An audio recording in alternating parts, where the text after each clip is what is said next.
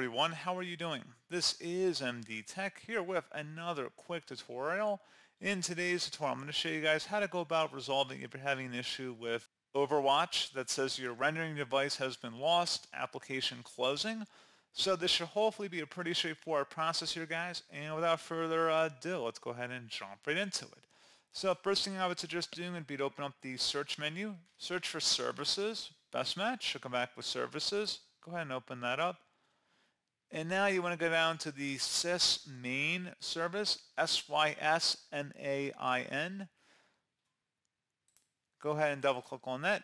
And you want to set startup type to automatic. If service status is running, we're going to go ahead and stop and then start it back up. If it was stopped before, just go ahead and select the start option. And again, make sure startup type is set to automatic. Select apply and OK for that. You may also want to check through your graphics card manufacturer's website, see if there are any new driver updates available for your graphics card.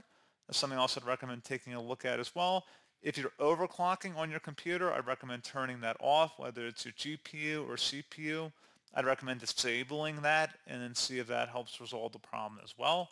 So a couple of different things to explore. And as always, thank you for watching. I do hope I was able to help you out, and I do look forward to catching you all in the next tutorial.